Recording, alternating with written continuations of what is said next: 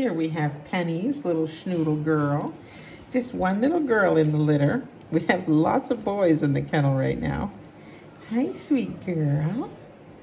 Hi. She's a good little one. Yes, she is. I see your little paw. That's a good girl.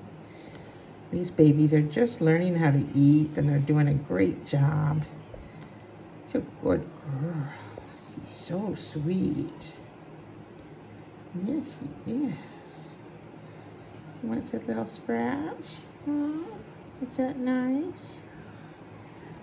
Oh, good girl, yes. What a good little one. they are the sweetest puppies. What a good girl. To turn so we can see you? There we go.